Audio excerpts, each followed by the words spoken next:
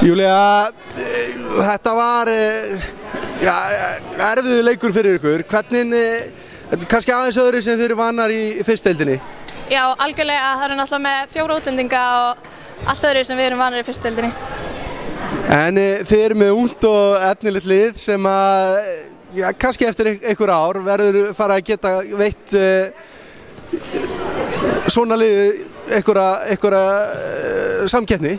Já, algjörlega, ég er full að trúa því og ég er rosalega ánað með hópin okkar, þú veist, við erum alveg frá 15 ára upp í bara 23 ára og við erum bara í uppbyggingu og ég hef alveg trúið að við séum að mæta í dómlisteldinu eftir nokkur ár og bara verðum tilbúin að veita svona liðum samkemni, sko. Uh, á köplum þá náðu það aðeins að stríða þeim. Hvað, hvað var svona þínum að þetta erfiðast við að spila á móti skallakarnum í kvöld? Það eru náttúrulega bara rosalega góð leikmir, líkamlega sterkar og svo náttúrulega með hérna Shaquille sem er ótrúlega háessinn og þannig að það var bara erfitt að stoppa þær sóknarlega kannski. Það- Já, En uh, nú er byggarna búinn og þá er bara einbætt sér að fyrstdeildinni eða ekki?